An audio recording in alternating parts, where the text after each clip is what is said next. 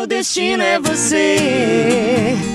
Volta e faz amor comigo.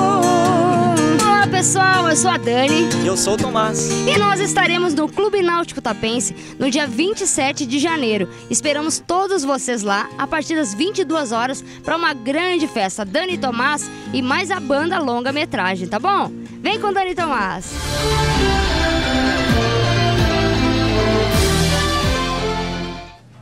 A comarca de Tapes lançou nessa semana o edital para a convocação de entidades públicas ou privadas com finalidade social, visando ao atendimento de projetos, programas ou cursos de capacitação e qualificação profissional, geração de trabalho e renda às pessoas em cumprimento de penas ou medidas alternativas para cadastramento na vara de execução penal, com objetivo de recebimento das verbas depositadas a título de penas alternativas de prestação pecuniária ou transação penal.